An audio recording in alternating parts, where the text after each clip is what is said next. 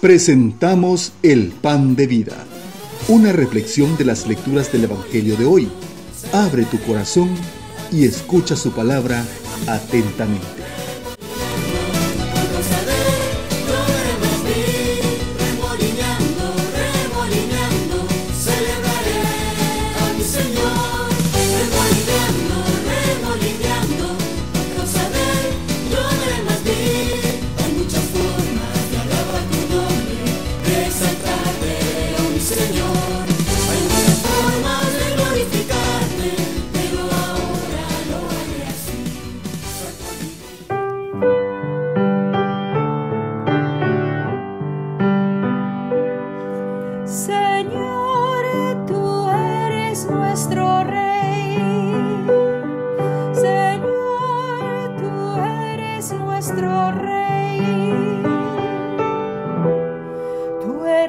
El Rey de todos los reyes.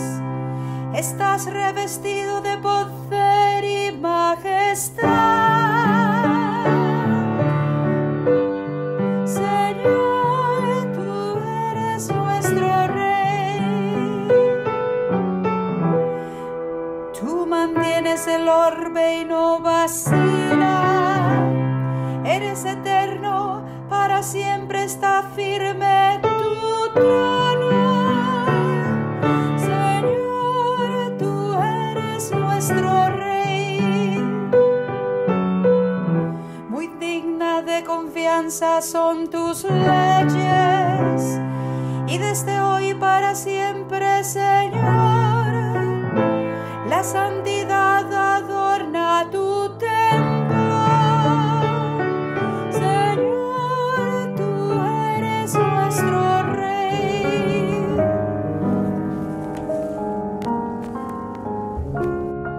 Proclamación del Santo Evangelio según San Juan, en el capítulo 18. Todos, gloria a ti, Señor. En aquel tiempo preguntó Pilato a Jesús, ¿eres tú el rey de los judíos?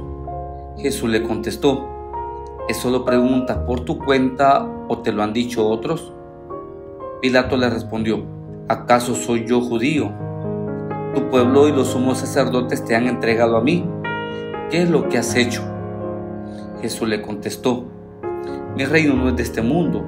Si mi reino fuera de este mundo, mis servidores habrían luchado para que no cayera en manos de los judíos. Pero mi reino no es de aquí. Pilato le dijo, con que tú eres rey.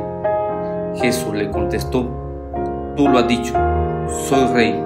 Yo nací y vine al mundo para ser testigo de la verdad. Todo el que es de la verdad escucha mi voz. Palabra del Señor, gloria a ti Señor Jesús. Hermosa jornada a todos, feliz domingo, día del Señor. Hoy 34 domingo del tiempo ordinario o conocido también como Día de Cristo Rey. Cristo Rey del universo y también la clausura del Evangelio de San Marcos. Yo siempre doy énfasis al Evangelio del día domingo, siempre de lo que estamos hablando y hemos recorrido desde noviembre a noviembre, de Adviento hasta estas fechas, este Evangelio corto de 16 capítulos llamado San Marcos, en la que a veces se auxiliaba del Evangelio de San Juan. ¿Y qué aprendimos en este Evangelio? ¿Se recuerdan? Primero, cómo comienza este Evangelio. Comienzo de la buena noticia de Jesucristo, Hijo de Dios. Luego, allá más adelante, nos decía en uno de sus milagros, este es el Hijo de Dios. Y el centurión en el momento de la cruz dice, verdaderamente este era el Hijo de Dios. Entonces Marco nos ha querido demostrar que Jesús es el Hijo de Dios, para que descubramos que Jesucristo es el Hijo de Dios y también Rey del universo. ¿Dónde está el rey de los judíos? Dicen los evangelios ante la autoridad cuando aquellos magos llegaron ante Herodes. Desde su infancia ha sido llamado rey y luego en uno de sus milagros lo quería nombrar rey, pero él se alejó porque no había llegado su hora. Donde él demuestra con la verdad de que él es rey. Y por eso Pilato le pregunta, con que tú eres rey. Y Jesús ante la autoridad que era Pilato en ese momento, a esta pregunta que le dice con que tú eres rey, tú lo has dicho. Y eso le dejó en incertidumbre a Pilato, porque entonces, ¿de dónde eres rey? Pero Jesús le descubre algo, mi reino no es de este mundo. Yo he venido a ser testigo de la verdad y es que escucha mi voz, Él es también testigo de esa verdad. Y por eso una vez Él nos dice, yo soy el buen pastor, mis ovejas escuchan mi voz. Lo repite ante Pilato, lo repitió ante el pueblo, ahora está diciendo, todo el que escucha la verdad, todo lo que le escuchan a Él, es testigo de la verdad. Me gusta un gesto de Jesús cuando le pregunta ante el sufrimiento que está viviendo, ¿eres tú el rey de los judíos? Y Jesús le contesta, ¿eso lo preguntas por tu cuenta o porque te lo han dicho otros? Esto es bien interesante cuando hay personas que de verdad quieren hacerte preguntas capciosas. Qué bonito que le contestáramos así. ¿Eso lo preguntas por tu cuenta o porque te lo han dicho otros? porque a veces la envidia hace que no te dejen avanzar en algunas cosas, o también la de otros que envuelven a estas personas para que sean tu contrincante. Entonces Jesús llega a esta astucia, ¿eso lo preguntas por tu cuenta o te lo han dicho otros? Bonita respuesta para tomarlo, para que también ante esas personas que quieren como descubrir algo de ti, tú le puedes decir, ¿eso lo preguntas por tu cuenta o te lo han dicho otros? han dicho por chisme, te lo han dicho por esto, o quieres saber algo más de mí a causa de la envidia o a través de otras cosas que quieres saber. Entonces Jesús fue muy claro. Se presenta a pesar de su sufrimiento como rey. Dice Jesús, yo nací y vine al mundo para ser testigo de la verdad. Y por eso cuando vemos los otros versículos, aunque ya no está aquí, Pilato le pregunta, ¿y qué es la verdad? Jesús ya no contestó nada.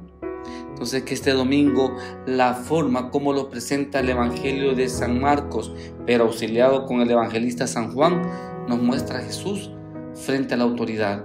Y ante todas las autoridades del mundo, Jesús es el rey del universo, es el único rey. Aunque seas el mejor presidente del mundo, aunque seas aquellos presidentes que se creen dueños del mundo, recuerden, hay un rey superior, es el dueño de todo y dueño principalmente de ti aunque tú sigas otras corrientes, aunque tú creas o no creas en Jesucristo, descubres que al final, en el último día, como decía el Evangelio el domingo pasado, que va a venir con honor y majestad, todos vamos a caer de rodillas ante su presencia, donde Él va a juzgar a las naciones y nos va a juzgar a nosotros, porque Él sí hoy va a venir, no como aquel rey niño en la cual solo fue el inicio de que el que había nacido era el rey de los judíos, ahora va a venir como el rey de todo el universo.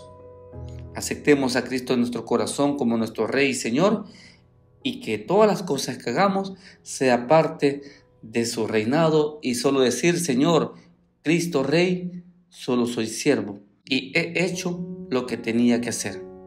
Que en esa procesión que vayas, que participes descubras que el que va caminando contigo es el verdadero rey que debemos seguir.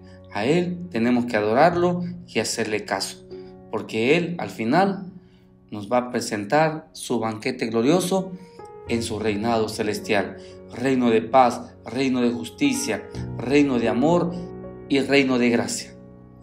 Con esto hemos terminado entonces, hermanos, este Evangelio, este ciclo B, en honor al evangelista San Marcos el otro domingo comenzamos ya el tiempo de Adviento y damos inicio al nuevo ciclo C, es decir, al Evangelio de San Lucas, que en lo particular es uno de los evangelios que más me gustan, pero cada quien descubra qué evangelio te gusta más. Hemos leído 16 capítulos, todo un año, y hemos descubierto cómo este evangelista nos habló con el joven rico, con Bartimeo, con aquella viuda, con aquella hemorroísa. Qué grandes cosas hemos aprendido de este Evangelio. Entonces, a vivirlo y a ponerlo en práctica. Lo vamos a contemplar dentro de tres años nuevamente, si Dios nos da vida, y vivir esta experiencia del Evangelio. Porque como decía el domingo la vez pasada, podrán pasar el cielo y la tierra, pero mis palabras jamás pasarán. Dios me les bendiga, que sea un domingo fructuoso que descanse y que logren sus metas en esta nueva semana que vamos a iniciar. El Señor esté con ustedes y la bendición de Dios Todopoderoso Padre Hijo y Espíritu Santo, descienda sobre cada uno de ustedes y les acompañe siempre. Amén. Un gran abrazo, no se les olvide darle like y les deseo feliz semana en esta última del mes de noviembre. Un gran abrazo, pásenla bien y muchas bendiciones. Yo te adoro, Cristo Rey de las Naciones.